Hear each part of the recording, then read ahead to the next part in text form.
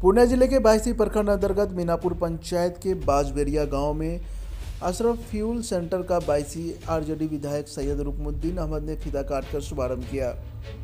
वहीं इस petrol pump के खुल जाने से क्षेत्र के लोगों में खुशी की लहर जाग उठी है।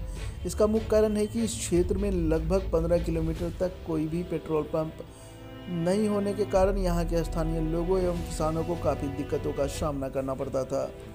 वहीं उद्घाटन के बाद विधायक ने अपने हाथों से लोगों के वाहन में तेल भरते नज़र आए।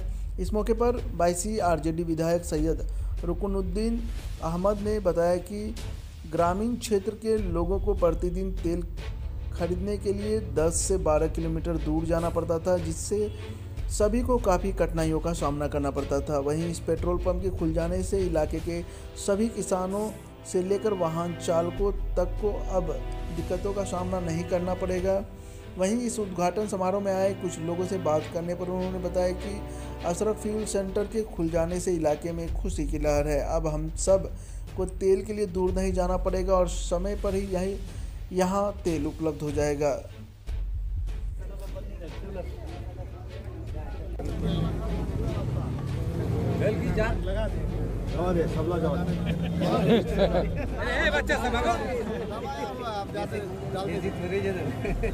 सर, आज जो फ़ूड सेंटर का उद्घाटन किए, इसके बारे में कुछ बताइए, क्षेत्र में इसका क्या असर पड़ेगा और क्षेत्र में इसके क्या देखिए, आज बांसबेरिया में अशरफ फ्यूल सेंटर का उद्घाटन था और इस उद्घाटन में पूरे क्षेत्र से लोग आए। क्योंकि ये ग्रामीण क्षेत्र है, यहाँ इसकी बहुत ही आवश्यकता थी।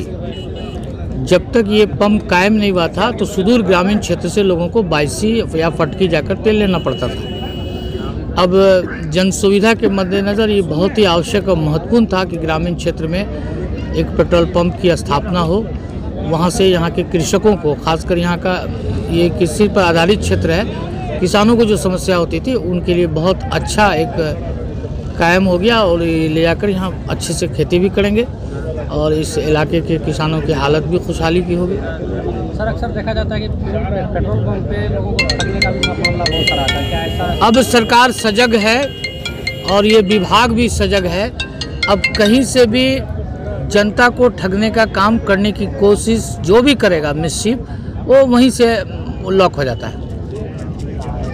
अब इस बात की उम्मीद नहीं की जा सकती। है आज आपके पंचायत में एक पेट्रोल पंप का शुभारंभ हुआ। है इससे आपके जनता को और यहाँ के लोगों को क्या फ़र्क पड़ेगा? आज जो पेट्रोल पंप का उद्घाटन हुआ है, इसमें यहाँ के पब्लिक को काफ़ी सुविधा होगा, चूँकि इसके पेट्रोल और डीजल की वजह से लोगों को फटकी जाना पड़ता था। या बहुत लोग दलकोला भी जाते थे अपने टेलर से ड्राम लेकर।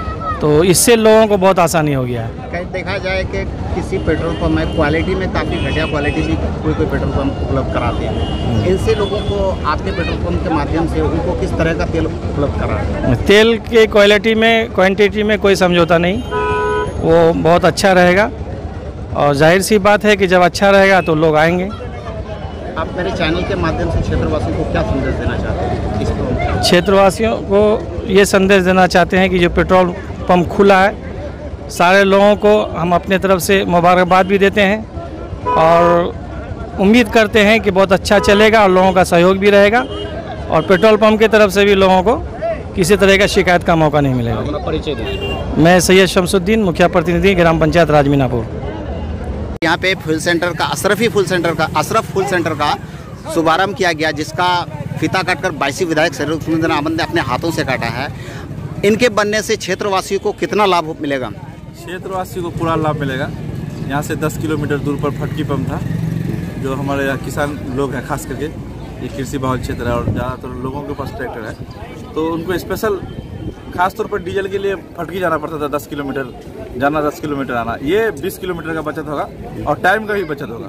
अच्छा कौन सी जगह है ये? ये बैरिया है पंचायत पंचायत मार्केट है पंचायत- पंचायत बीनापुर वार्ड नंबर है? वार्ड नंबर चार। आपका नाम? शाहनवाज अहमद। सेंटर के बारे में क्या राय है आपका? खास करके हम बैरियावासी बहुत खुश नसीब हैं। हम लोग कभी भविष्य में नहीं सोचे थे कि हम लोग के गाँव में भी इस तरह का पेट्रोल पंप खुलेगा। खासकर हम लोग किसान आदमी हम लोग को काफ़ी फटकी या कहड़ या पेट्रोल लाने जाना पड़ता था। अब हम लोग लगभग दस किलोमीटर। अब आपके घर में पेट्रोल पंप है?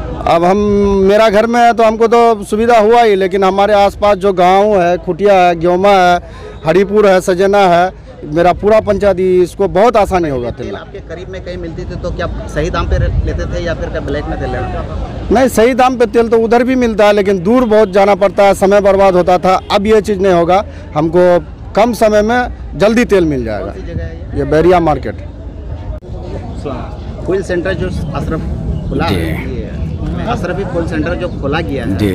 इनसे यहाँ के किसानों को क्या लाभ मिलेगी और यहाँ सबसे बड़ी बात यह है कि हम लोग जब बाईसी से आ रहे थे यहाँ, बैरिया हाट तक तो हम लोग को कोई पेट्रोल पंप नहीं मिल रहा था। कभी संजोग पेट्रोल ख़त्म भी हो जाता था, हम लोग को बड़ी मुसीबत का सामना करना पड़ रहा था लेकिन अब हम लोगों की बहुत खुशी की बात है कि अब हम लोग का घर में यहाँ पेट्रोल पंप हो गया यहाँ से आम जनों को भी सुविधा मिलेगा किसानों को भी राहत मिल जाएगा पहले किसान या फिर आमजन यहाँ के जो है ग्रामीण हाँ। कितने दूर वो लोग बहुत दूर? फटकी जाना पड़ता था इधर नहीं तो कटिहार साइड जाना पड़ता है इतना दूर लेकिन अभी बहुत खुशी की बात है जो अब यहाँ बिल्कुल अपना लोकल में पेट्रोल पंप हो गया यहाँ के लिए हम लोग बहुत बहुत धन्यवाद करते हैं यहाँ के जो मालिक हैं उनको, आमिर बाबू को, और हम लोग बहुत खुश हैं यहाँ के पेट्रोल पंप से। मोहम्मद अताउल्ला चिल्हनी गाँव। अब हर खबर पर होगी हमारी नज़र। पल पल बदलती देश और दुनिया की हर खबर। पाइए, सीधा अपने मोबाइल पर।